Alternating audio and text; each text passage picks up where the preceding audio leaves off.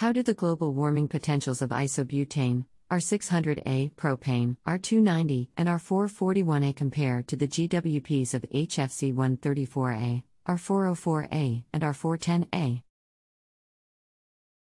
A. They are significantly higher B.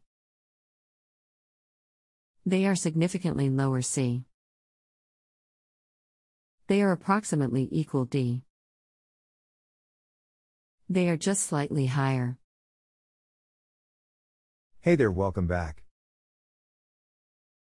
My goal is to give you the best experience possible.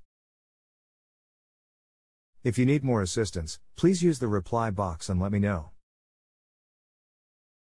Rating does not stop you from getting back to me in the event you need me. It has been a pleasure assisting you today. If you have a home improvement or appliance question and want to chat with an expert now visit justanswer.com/ythi.